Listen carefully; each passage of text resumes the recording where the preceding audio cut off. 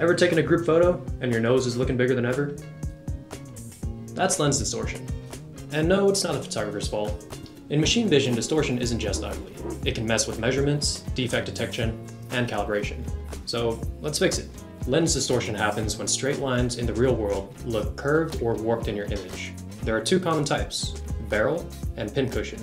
Barrel distortion makes edges bulge out. Pincushion pulls them in. So we have two options to solve this issue. Option one, use distortion corrected lenses. They're designed to keep your image as true to life as possible. However, they're a bit pricey. Option two, fix it in the software. Many machine vision systems can apply correction algorithms to straighten things out after capture. If you're measuring dimensions, aligning parts, or training AI models, distortion can throw everything off. Clean optics means cleaner data. So, are you still seeing weird warps in your images? Drop a comment below and let's fix that. Hit the like and subscribe button, and we'll see you next time.